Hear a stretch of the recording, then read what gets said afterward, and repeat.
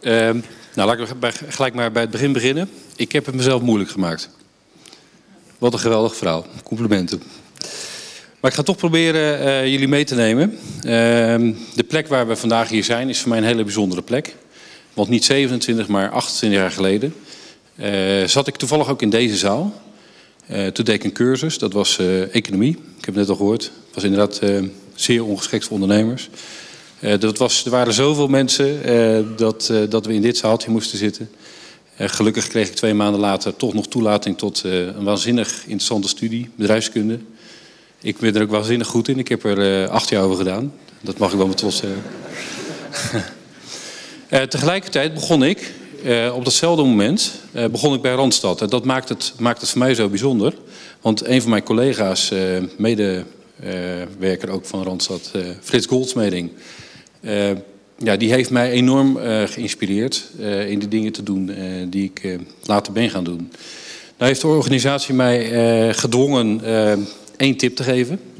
Dus ik, ik ga straks ga ik afsluiten en dan hoop ik dat jullie één tip hebben gegeven. En ik ga ook proberen dat jullie mijn tip onthouden. Maar ik smokkel een beetje. Ik heb namelijk bij Randstad heb ik, een aantal dingen geleerd. Maar een van de belangrijkste dingen die, die ik heb geleerd... en dat is zeker niet de tip die ik straks ga eh, is dat je eh, een bedrijfsproces enorm strak moet hebben staan. En echt strak. En wat daar ehm, heel interessant aan was... elke maandagochtend moesten wij eh, de briefjes inkloppen, zoals dat dan heette. Dat ging nog met de hand in die tijd. En dat was omdat maandagmiddag de directie precies wilde weten waar het bedrijf stond. Nou, belachelijk natuurlijk. Tot ik jaren later mijn eigen bedrijf Flex had. En dan pas leer je hoe belangrijk het is om een proces enorm strak te hebben staan. En zeker als je heel hard groeit. Want juist als je heel hard groeit- moet je meer dan de boel goed georganiseerd hebben. En veel mensen denken, ja, we gaan lekker snel groeien en eh, dan, dan maakt dat allemaal niet zo uit. Maar juist dat maakt heel erg uit. Ehm, nou, ik, ik denk dat ik vandaag eh, hier naartoe gelokt ben, eh, gevraagd ben, omdat ik in 2002 een prijs won met mijn bedrijf. Ik was opeens officieel de snelste groeier van Europa. Geweldig. Drie maanden later ben ik bijna uitgeroepen de snelste krimper van Europa. Want dat bedrijf, eh, dat, dat, eh, dat had het ook moeilijk in, eh, in de crisis. En ehm, ja, de vraag die je natuurlijk dan krijgt, joh, hoe heb je dat al voor elkaar gebokst? En ehm, dat is eigenlijk heel simpel. Dat kan ik jullie allemaal leren. Want, want wat ik had gedaan, ik had iedereen ehm, gevraagd, of ik had, ik had een heel duidelijk beeld van de toekomst. En probeer eh, voor jezelf nu eens eh, drie, jaar, eh, drie jaar vooruit te gaan. En ik ga er geen, geen tijd voor geven, maar ik ga gewoon doorpraten. Ga eens drie jaar vooruit en probeer dan eens een keer heel goed scherp te krijgen hoe dat bedrijf eruit ziet. Hoeveel mensen werken daar? Is het internationaal? Is het lokaal? Ehm, eh, doe je iets aan maatschappelijke doelen?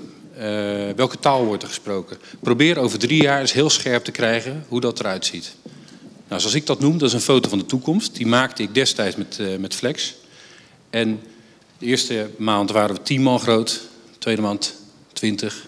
Na een jaar 100. Nou, na een paar jaar 500. Toen ik wegging was het, waren het er 1200. Dat was niet helemaal mijn verdienst, want we waren gefuseerd. Maar eh, door heel scherp neer te zetten waar dat bedrijf naartoe moest...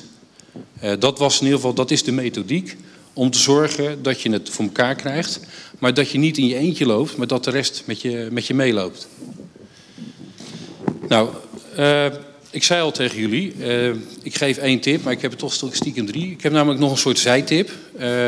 Hè, dit was de tip, hè, maar ik heb nog een soort zijtip. Wat ook heel belangrijk is, is dat je heel goed visualiseert hoe die toekomst eruit ziet. Als je dat heel strak neerzet, dan blijft het langer hangen bij mensen.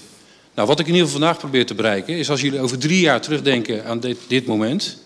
En dat is natuurlijk heel lastig met zo iemand die voor je zit. maar dan ga ik ervan uit dat jullie de foto van de toekomst zullen herinneren. Simpelweg omdat ik hier, en die ballon, ja, ik had ook met een foto van de toekomst kunnen staan, maar dat vond ik dan iets te commercieel.